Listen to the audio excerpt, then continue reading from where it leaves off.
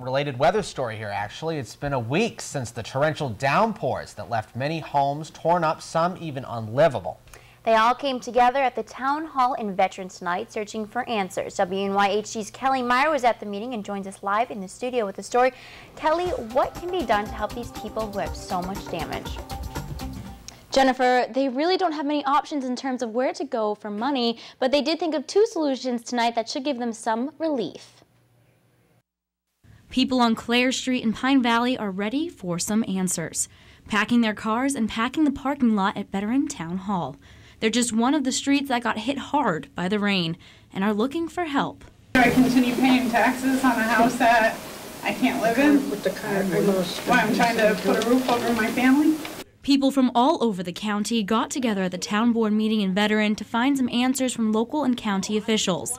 Families like the Spencers who are still unable to get into their home after water surrounded them on Smith Street in Pine Valley. Tired and stressed out.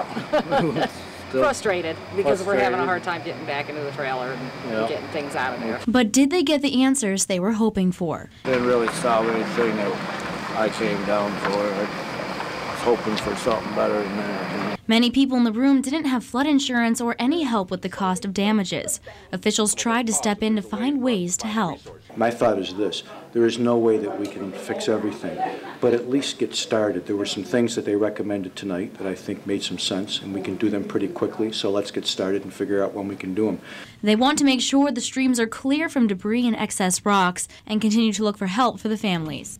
County Emergency Management, on behalf of State Emergency Management, is, is, has these damage assessment forms uh, that they're giving out. They're available at the town halls, uh, so a constituent can go in and get the form, fill it out with what their damage estimates are, uh, and those are all going to be compiled, delivered to State Emergency Management, and evaluated uh, on an overall basis uh, to see what assistance may be available. But the cleanup still continues.